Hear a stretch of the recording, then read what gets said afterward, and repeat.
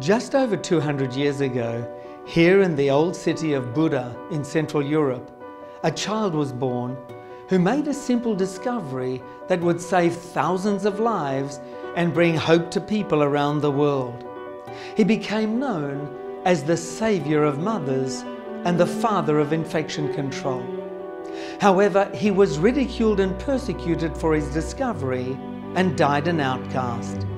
Hear his amazing and tragic story in our new program, Ignaz Semmelweis, the Persecuted Medical Pioneer.